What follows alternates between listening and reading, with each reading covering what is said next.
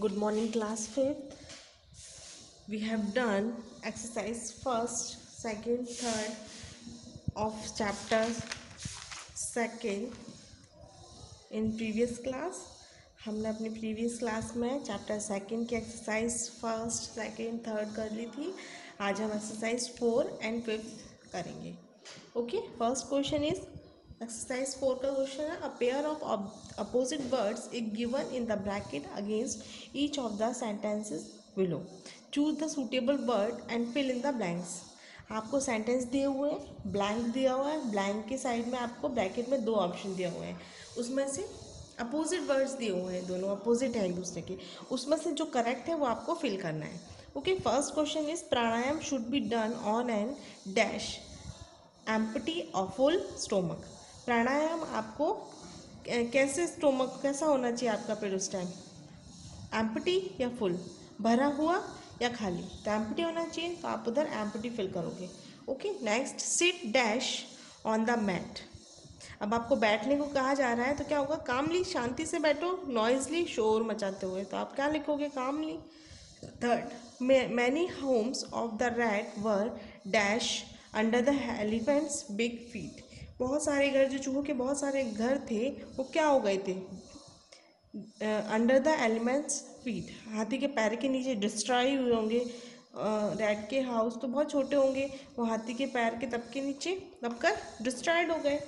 ठीक है? He asked some of the dash rat in his group to come along अब उसने अपने साथ कैसे चूहे को आने के लिए कहा?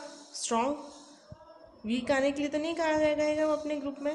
स्ट्रॉन्ग को आने के लिए कहा we did not dash these bit of paper we did not throw these bit of paper in पर कागज़ के टुकड़ों को हमें नहीं फेंकना था। We will make our class dirty और क्लीन क्लीन रखोगे आप अपनी क्लास तो क्लीन रखोगे ना? डर्टी तो नहीं रखोगे? Lord Ram got over Ravan जीते थे रावण रावण से? राम जी तो क्या आएगा? Victory Dussehra is a symbol of victory of good over evil next is this is a story of boy who does not to study ये स्टोरी है एक बॉय की जो उसको पढ़ना पसंद नहीं था। डज नॉट डज नॉट लगाए तो लाइक डज नॉट पढ़ना पसंद नहीं था उसे। In spite of warning people people use these dash things harmful warning के बावजूद लोग कैसे हार्मफुल हानिकारक चीज़ें यूज़ करते हैं। क्वेश्चन एक्सरसाइज फिफ्थ में आपको सिंपल वर्ड्स दिए हुए हैं, उसके अपोजिट आपको लिखना है। फ़र्स्ट इज़ बिग बिग का अपोजिट होता है small next many few calmly noisily destroy build collect collect means इकट्ठा करना स्प्रेड मीन्स फैला देना. Go come. वीक मीन्स कमज़ोर स्ट्रॉन्ग मीन्स मज़बूत. हार्मफुल हानिकारक हार्मलेस जिससे हमें कोई नुकसान ना हो. लाइक डिसलाइक लाइक मीन्स पसंद करना डिसलाइक मीन्स पसंद नहीं करना। एम्पटी मीन्स खाली फुल मीन्स भरा हुआ right left love hate beautiful सुंदर, अगली मीन्स बदसूरत। हार्ड कठोर सॉफ्ट मीन्स कोमल। काइंड दयालु क्रूअल क्रूअल मीन्स निर्दयी। रिच अमीर पुअर गरीब।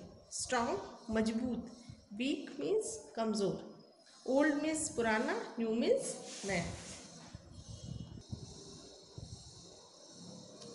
Next is just in just down up something कुछ नथिंग मीन्स कुछ नहीं।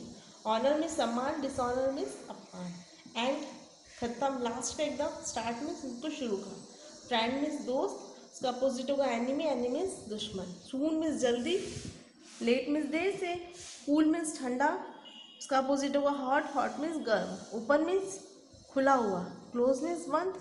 ब्लैक का अपोजिट काला काला का अपोजिट क्या होता है? सफ़ेद white bad good give give means देना टेक मीन्स लेना। तो आपको exercise four and fifth you have to write exercise four and fifth in your English grammar notebook okay thank you